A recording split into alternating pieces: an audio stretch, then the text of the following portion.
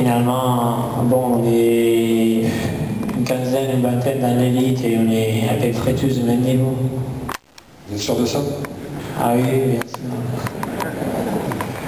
Physiquement, vous n'avez rien de plus. On, on dit que vous, avez un battement cardiaque à 34, c'est quand même peu. Oui, mais comme je disais, on est, on est beaucoup avec euh, des paramètres physiologiques pareils, et puis c'est la motivation qui... Oui, alors justement, comment vous expliquez-vous Vous êtes devant, vous arrivez à battre les records.